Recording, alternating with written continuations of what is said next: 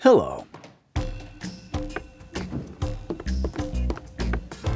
You may not think about landing gears all that often, but they're essential components on airplanes or helicopters. They support the aircraft on the ground during takeoff, landing. They also cushion shocks, taxiing, and braking.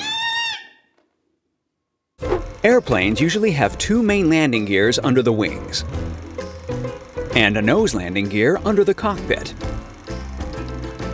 When the plane lands, the two main landing gears touch down first, and the pilot then eases the nose gear onto the runway and uses it to steer the plane. Each landing gear has three main parts the struts, the wheels, and the brakes. The first thing the struts need to be is strong. They're made of very high strength materials such as titanium and steel. An undercarriage can carry more than 500 tons and travel almost 500,000 kilometers during its life cycle. It has a hydraulic mechanism that can either deploy or retract for takeoff and landing and ultra-high efficiency shock absorbers to treat passengers to a smooth ride. Ladies and gentlemen, we have just landed at Acapulco International Airport. The captain and crew hope you have a pleasant stay. Each landing gear has several wheels. The number of wheels and their size depend on the type of aircraft. As you can see, a commercial medium-haul jet usually has two wheels on each landing gear, and a wide-body transport aircraft can have three times that many. The wheels are made of aluminum. The wheels and tires need to hold very heavy loads at takeoff speeds that can exceed 300 kilometers an hour. Then the brakes have carbon discs. They have to slow down and stop a 100-ton load in about one kilometer and withstand up to 800 degrees Celsius on landing.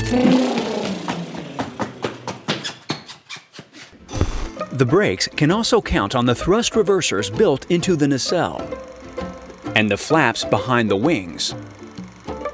As they have such a tough job to do, landing gears need to meet extremely stringent requirements and undergo many tests before they fly. Take these landing gears for example. They are for big military aircraft that need to land just about anywhere. On the sand in the Sahara, on the ice in Greenland, on earth trails, tiles, and the carpet in your living room. Well, okay, that won't happen all that often.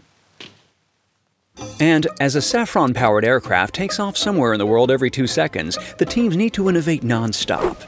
For example, embedding chips in tires will enhance safety and simplify maintenance. I need more air.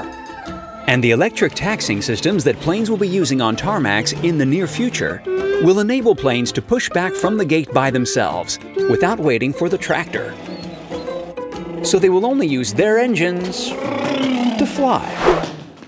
There, now you know everything, or nearly everything.